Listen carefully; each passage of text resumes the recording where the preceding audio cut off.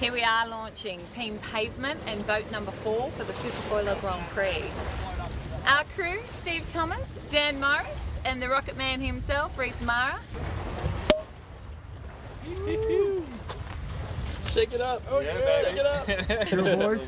yeah, you should have the first swing. As Chris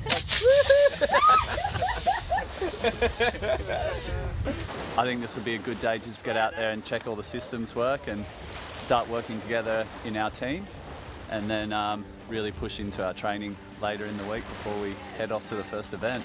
Maiden sail for this boat and couldn't have two better guys to sail with. Get out there and tune up against the boys and just go faster than them.